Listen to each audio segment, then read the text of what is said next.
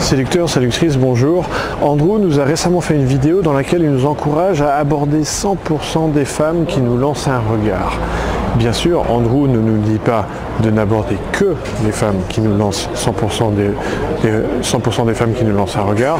Et donc je voulais apporter une distinction par rapport à ce point-là, à savoir il y a trois soucis potentiels. C'est que premièrement, il peut y avoir des femmes qui ne nous ont pas vus, tout simplement, et dans ce cas-là, bah, elles ne risquent pas de nous envoyer un joli regard et un joli sourire. Deuxième possibilité, peut-être qu'elles nous ont vus, mais elles n'osent pas nous regarder. Elles n'osent pas soutenir notre regard. Et, ça, je crains que ça arrive relativement souvent. Troisième scénario, et là c'est particulièrement mon cas, il peut y avoir des femmes qui peut-être lancent des regards, mais nous on ne les voit pas.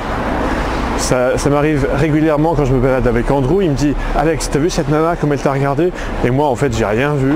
Et typiquement je ne vois rien des regards, je ne sais pas pourquoi. Donc si je devais attendre d'avoir des gros regards pour aller aborder des femmes, ben, il ne se passerait pas grand chose dans mon univers. Alors, quoi en conclure?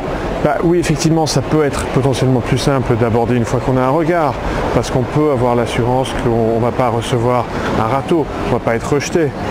Néanmoins, n'oubliez pas qu'à l'inverse, si vous abordez une femme qui ne vous a pas lancé d'invitation, qui ne vous a pas regardé, eh bien oui, bien sûr, vous, pouvez vous attendre à avoir potentiellement un refus, parce que cette femme-là n'a rien demandé. Mais justement, ça ne va pas vous faire mal, puisque vous attendez la possibilité d'un refus. Et n'oubliez pas, ce sera le mot de la fin, que quand vous allez aborder une femme dans la rue, le but n'est pas d'obtenir une bonne réaction. Le but n'est pas d'obtenir son numéro de téléphone. Le but, c'est simplement d'aller voir ce qui peut se passer, d'aller voir s'il peut y avoir du feeling. Donc, il n'y a pas d'enjeu, on peut y aller. C'était Alex Wagner pour la Minute MK sur Morning Kiss. À bientôt, au revoir.